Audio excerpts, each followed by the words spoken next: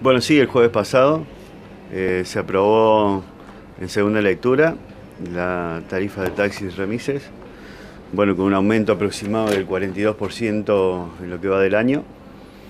Eh, anteriormente la veníamos desdoblando a la, tarifa, eh, después se unificó por pedido de ellos una sola vez en diciembre y bueno, otra vez lo tuvimos que desdoblar por, por cómo está sucediendo la situación económica del país.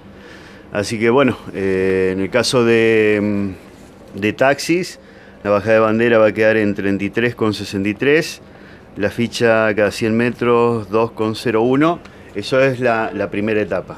En la segunda etapa, a partir del 26 de diciembre del 2018, eh, la bajada de bandera va a costar 40,36 y la ficha cada 100 metros 2,41.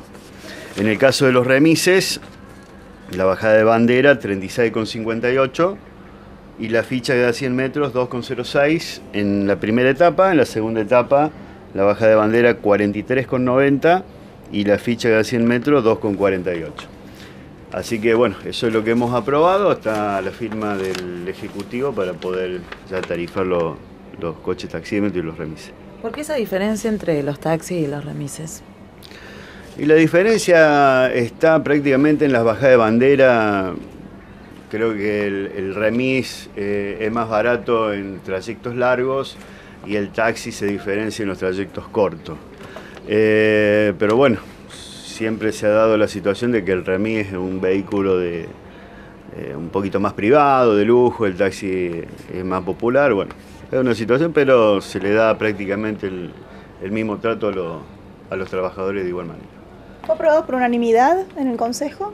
Sí, fue aprobado por unanimidad. Um, hubo la, la, modificación solamente del 26 de diciembre del 2018 para que pudieran tarifar los vehículos en la segunda etapa para que no lo tuvieran que hacer los primeros días de enero y perderse un par de días de lo que va a ser la temporada.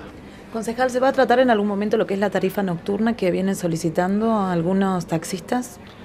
Y sí, se, se viene proponiendo desde el año pasado la, tarifa nocturna, lo que pasa es que eh, la situación que está viviendo el país, eh, los sueldos no aumentan, si bien eh, entendemos que tienen razón y que se está utilizando en, en otras ciudades la, tarifa nocturna, creemos nosotros que, podríamos eh, evaluarlo recién en, abril, mayo, eh, depende de la situación como vaya el país, creo que es lo más eh, que podemos hacer nosotros en este momento. ¿No habría otro aumento hasta el año que viene, a fines del año que viene?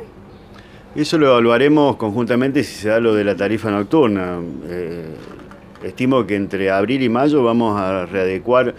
Eh, tenemos un país un poco que no se puede saber si, se va a quedar todo como está, el dólar, el costo de vida. Bueno, eso lo, veremos después de la temporada, junto a la tarifa nocturna como la readecuación de, de la tarifa de taxi.